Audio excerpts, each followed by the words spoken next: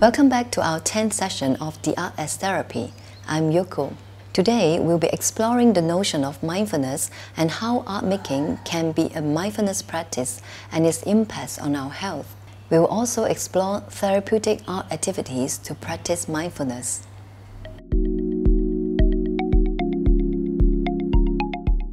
It is an intentional or bare awareness of the present moment. That is, you intentionally focus on an experience and notice your thoughts, feelings, and sensations. In simple terms, it means to slow down and attend to the present moment. Look, listen, taste, smell, or feel closely with an intentional focus. It is also a technique for spiritual exploration. There are different ways to develop and practice mindfulness, such as mindful breathing, mindful eating, mindful seeing, or mindful walking. Mindfulness practice usually highlights the focus on our breath or a feeling or sensation in the body. Nowadays, mindfulness is recognized globally and is introduced and practiced in many areas such as medicine, nutrition science, healthcare, education, philosophy, and arts.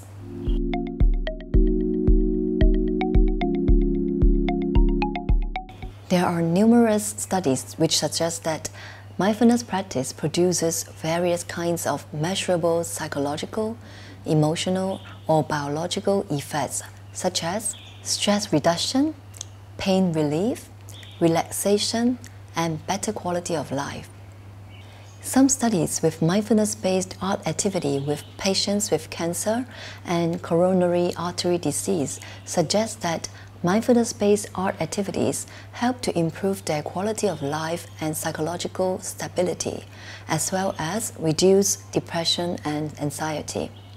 The model mindfulness-based art therapy MBAT introduced by Jon Kabat-Zinn suggests that this practice helps children to improve their abilities to pay attention and focus, regulate emotions, improve mood, self-confidence, manage symptoms of chronic pain and anxiety, and explore creativity with courage.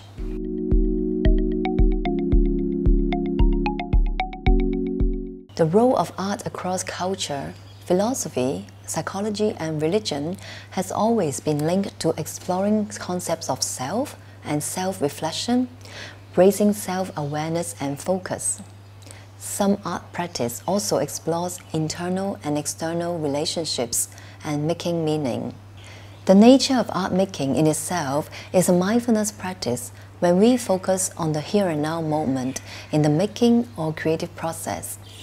That is, noticing how we really move our paintbrush, what we really see in the colors, and what we really notice in our thoughts, feelings, or sensations evoked in our mind and body. The simple rule is to slow down and notice with an intention. Let us try an example to see if there are differences when I ask these questions.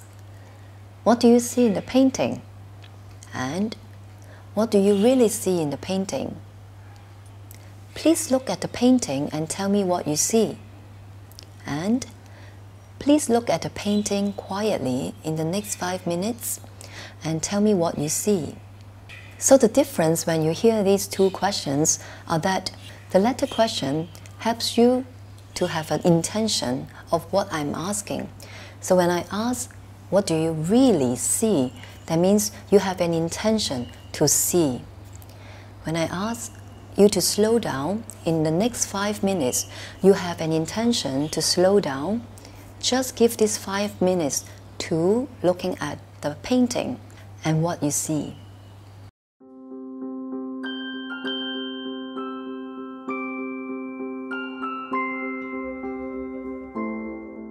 Let us practice mindfulness using art making.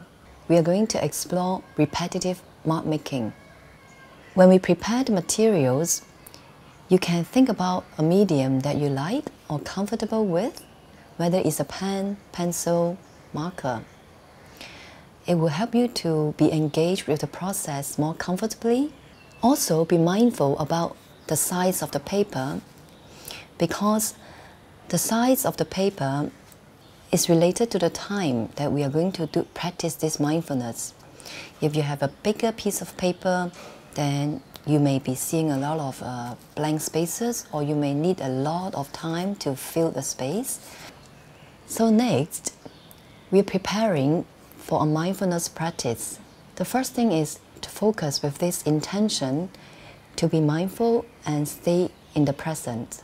Usually, we can begin a mindfulness practice with focusing on our breath first. So you can practice breathing in and breathing out. And a few breaths, breathing in and breathing out. And you also bring all your attention to your space, your working space, your mediums. When you're ready, you can start holding up your pen.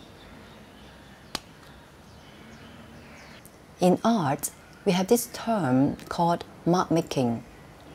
Basically, it means making a mark using the medium or the tool onto a surface. So, for instance, a pen can give you a mark like this or a mark like this. It can also be a line and the line can also comes in different forms, different patterns. And the process of repeating these marks, then we call this a repetitive art making or a repetitive mark making. So this is an example of some marks that can be created by this pen. So now I'm going into the mindfulness practice using this repetitive mark making. So I have chosen this uh, size of paper in a square form I think uh, in the amount of time that I have, it be, will be more manageable and not overwhelming for me. So I'm going to start at the center. As you are doing the mark making, focus on your breath. You can also notice what comes into your mind. Notice how your hands are moving sometimes it may be easy to be distracted by the environment or any thoughts that come to your mind. Tell yourself to have this intention to just focus on the, on the process and allow yourself to be in the present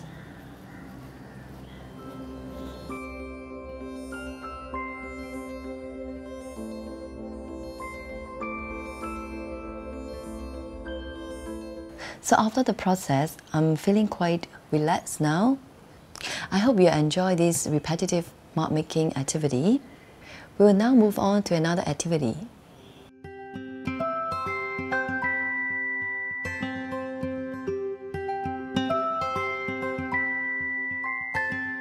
So in this activity, we are going to explore a method called Zentangle. Zentangle is a drawing method to create patterns uh, which are also repetitive, using very simple shapes, geometries, and lines.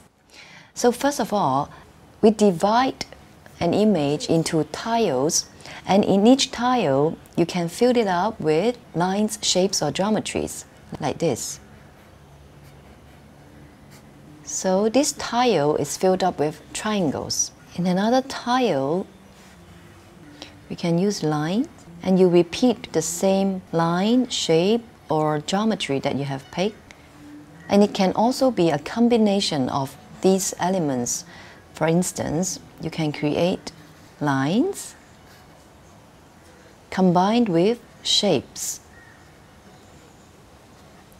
So in this way, you are actually filling up a space with some basic uh, elements.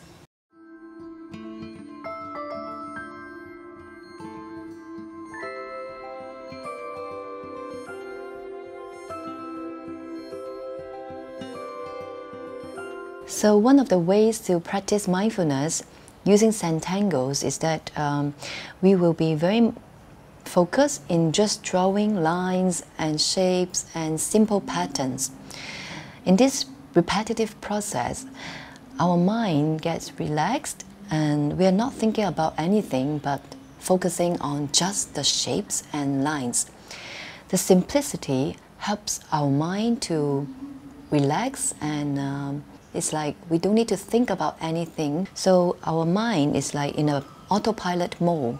Then we can just follow the repetitiveness and we don't need to think about anything. I think one of the joy of uh, doing Zentangles is also that um, there seems to be very unlimited ways of putting things together. When you have already finished with wavy lines, then you go with zig zigzag lines, then you go back to straight lines, and there are so many ways of drawing this.